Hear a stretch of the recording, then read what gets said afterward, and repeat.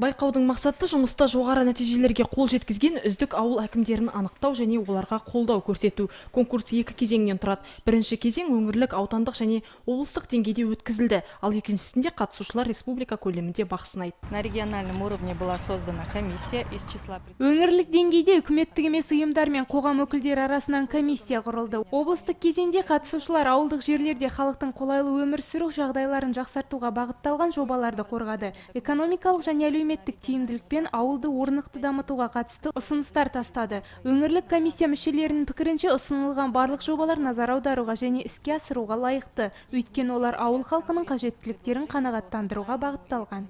Аймақтық байқаудың қорытындысы бойынша ақсу кентінің әкімі марат смағұлов жеңімпаз атанды. Ендігі кезекте ол өңір атын қорғап республикалық кезеңде бақ сынайды. Кент әкімі өзінің тәжірибелі басқарушы және шаруашылық жағынан белсенді екендігін көрсете білді. Областной конкурсной комиссии понравилось. облыстық конкурстық комиссияға кенттің әлеуметтік дамуына бағытталған жоба ұнады. Маған біздің өңірді және туған ауылымды республикалық деңгейде көрсету құрмет бұйырды.